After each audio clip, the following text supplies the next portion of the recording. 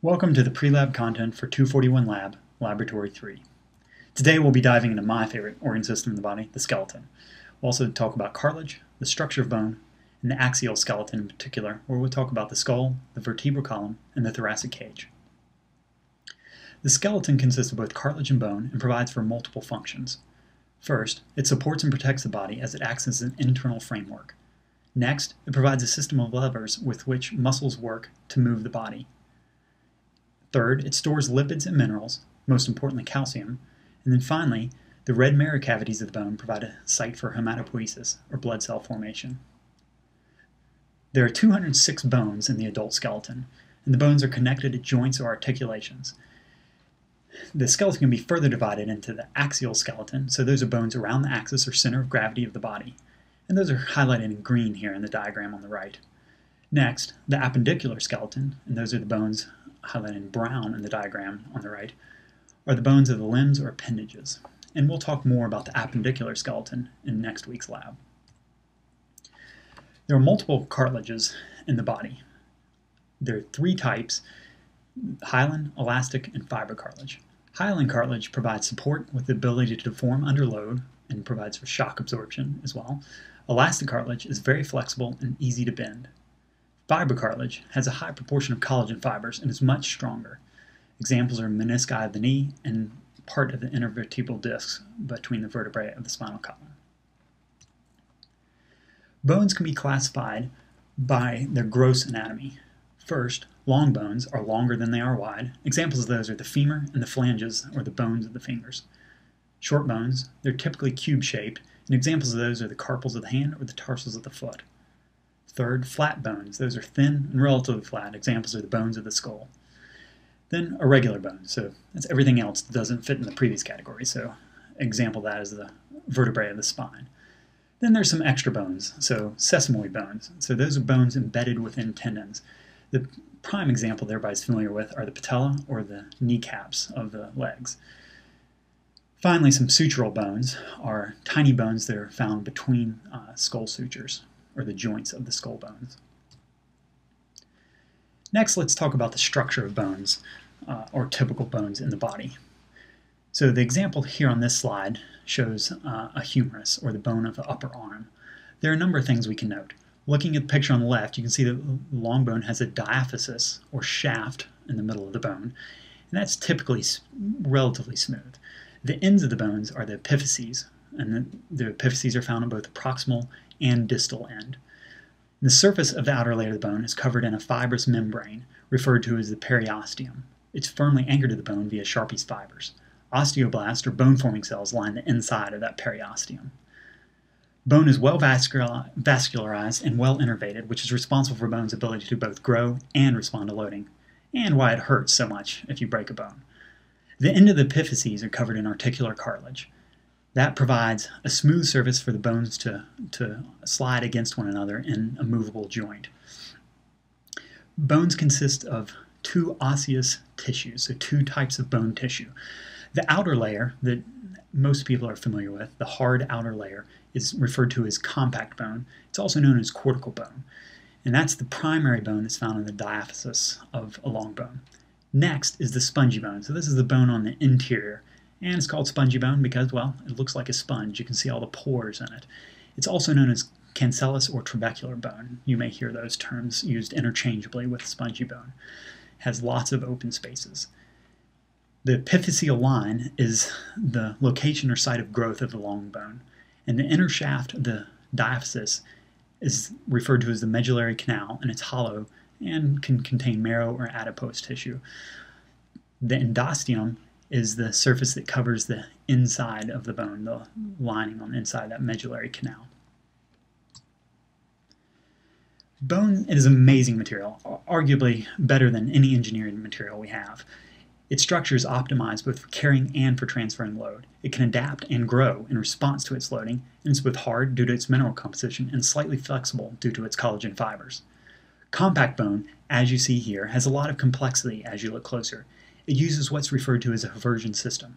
There are canals or openings, as you can see here with my mouse pointer, and these Haversian canals carry a blood supply, uh, and nerve, nerve supply or innervation throughout the, throughout the bone. This allows the bone to receive needed nutrients and rid itself of waste.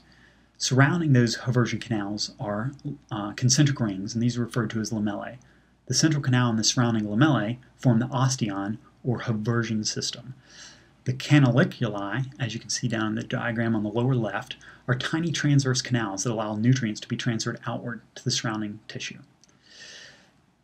Finally, there's perforating canals that allow a pathway between the interior of the bones and the exterior. That allows the blood supply and nerve supply to get to the interior of the bone. Let's take a little aside and briefly discuss how bone develops and grows. The early fetal skeletons composed of hyaline cartilage, which is produced by chondroblast, or cartilage-forming cells. After two to three months, the cartilage model begins to be replaced by bone in a process referred to as ossification. The cartilage matrix breaks down and becomes vascularized, and osteoblasts, or bone-forming cells, are delivered to the primary ossification sites. The osteoblasts begin the formation of bone. The bone elongates from the center and forms the diaphysis, and the medullary canal and secondary ossification sites develop in the epiphyses. During adolescence growth, growth in length occurs at the epiphyseal plates, and those are depicted here at either end of the bone.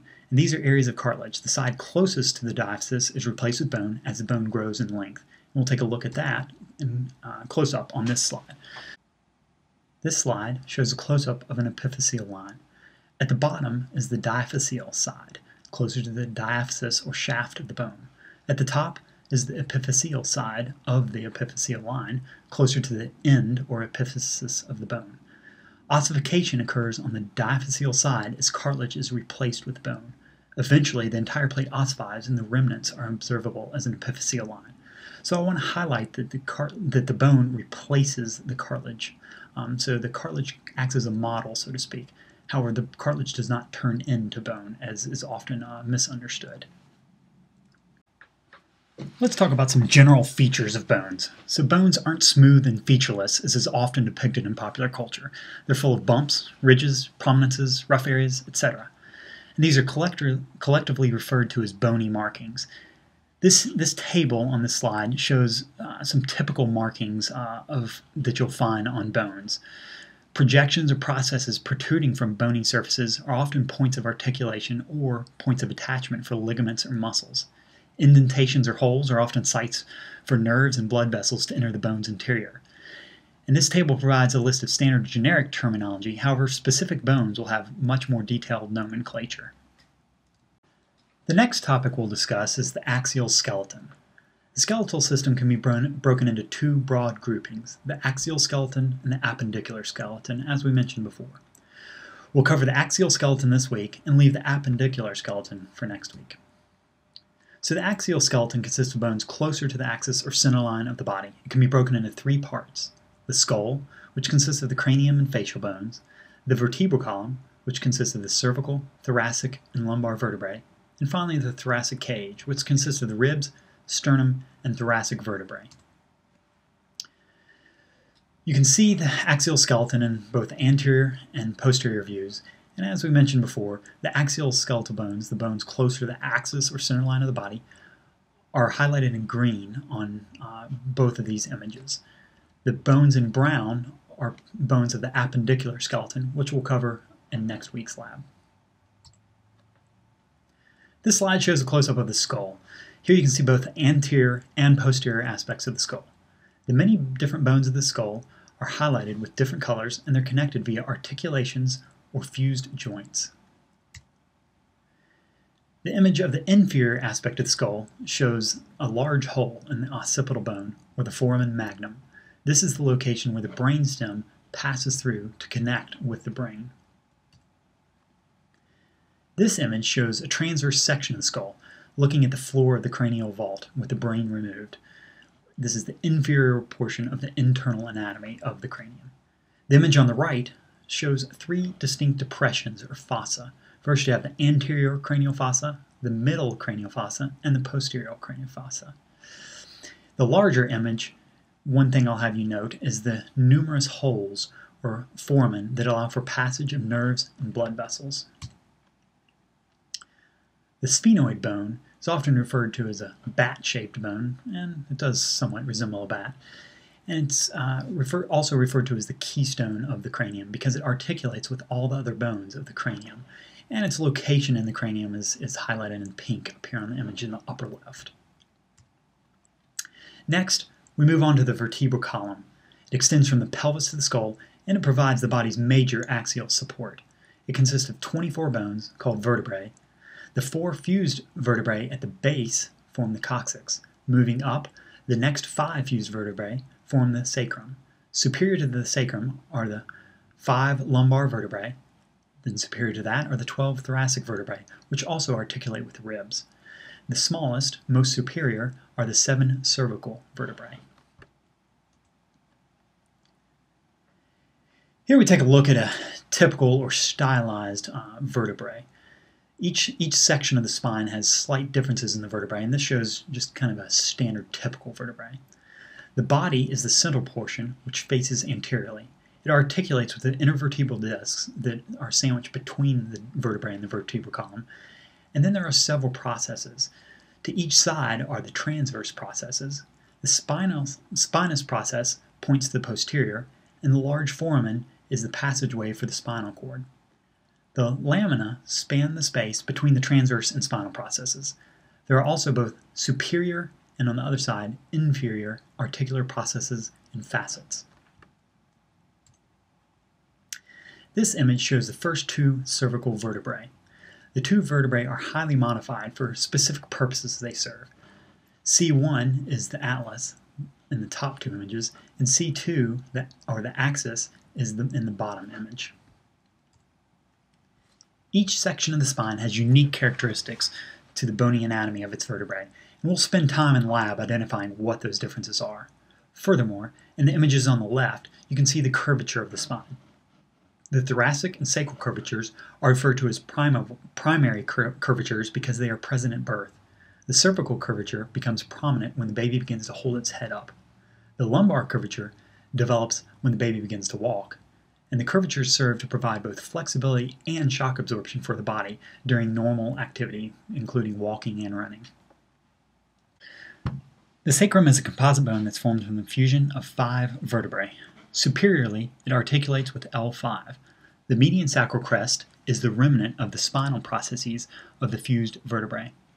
The alae are the wing-like fusions of the transverse processes that articulate with the hip bones. The multiple sacral foramina allow for the passage of blood vessels and nerves. Finally, the coccyx is a vestigial tail and is attached to the sacrum by ligaments. The thoracic cage consists of the thoracic vertebrae, the sternum, and the ribs. The cone-shaped, cage-like structure protects the critically important lungs and heart. The top seven superior ribs are referred to as true ribs. The next five pairs are referred to as false ribs. Ribs 8 through 10 have indirect attachment to the sternum via costal cartilage of rib 7. The final two pairs are floating ribs and have no sternal attachment. This shows a close-up of a true rib. The ribs form the wall of the thoracic cage. On the posterior side, the ribs articulate with the thoracic vertebrae on the superior costal facet and the transverse costal facet. On the anterior side, the ribs articulate with the costal cartilage, which connects to the sternum with the exception of the floating ribs. That concludes this week's pre-lab content.